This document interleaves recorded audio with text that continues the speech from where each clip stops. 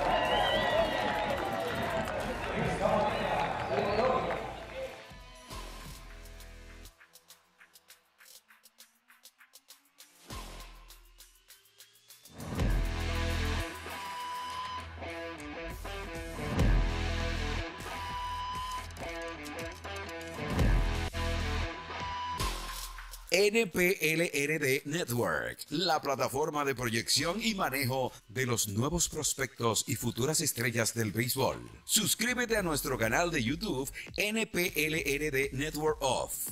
Síguenos en todas las redes sociales. NPLRD Network Off.